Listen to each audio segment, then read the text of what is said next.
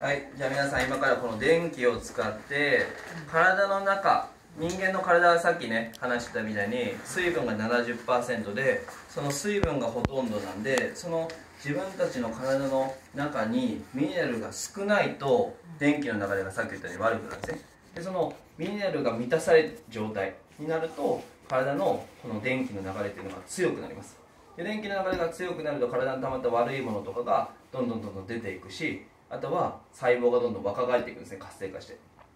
でこの電気っていうのはですねここ今オンにするとこのままだとつかないんですね。でここ今手でピッて触るとつくんですけどあすみません。あ皆さんそこのねコンセントのキャップ投げてもらっていいですか？そういて。あすみません。それは電気のつきつつけ方が違うの？うんこれがねここがつながらないと電気が通らないんですよ。でこうしたらビリってくるの？そうそうそうそう。だけこれで、うん、死なないと思うんですけどビリってくるんでこれでこうするとこうつくんですね。ここ電気がこう通って。こうするとつきますね。うん。でこれ手で触ってもつくけどビリってなるんでできないんですけどこれ今こっち普通の水。何も入ってない普通の水、まあ、水電気通すとは言うんですけどミネラルが入ってない水ですね。そうするとどうですか？つかないですよね、でここにこの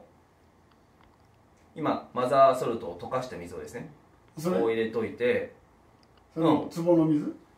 あこれはね普通の水道水。これ壺の水じゃなくても全然できるんで。この塩をいっぱい溶かした水をここにちょっとずつ入れていきますね。おおついた。うん。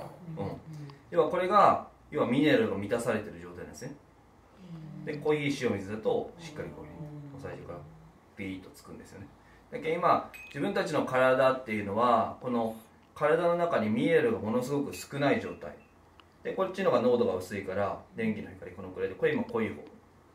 こっちの方がちょっと強い感じわかります、うん、だからこんな感じで自分たちの体も全く同じで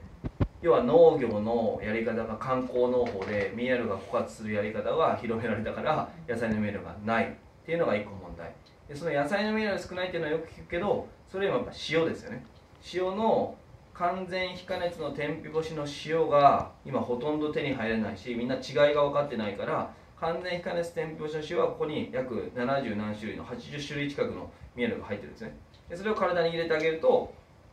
こんな風に電気の流れがものすごく強くなります。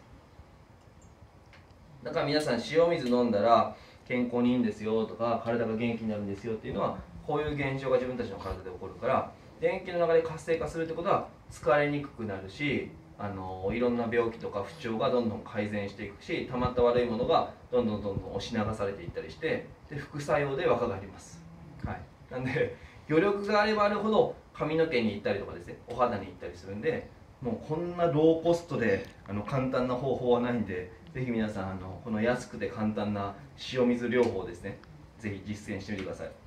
山本さんこんな感じではい、ありがとうございます。